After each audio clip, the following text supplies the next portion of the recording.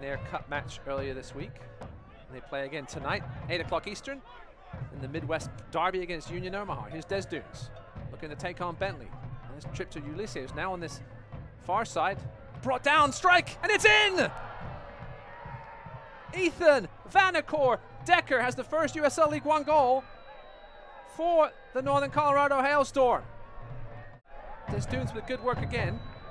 Across from Ulysses, Ulysses, excuse me, it was a good first touch and flew past the head.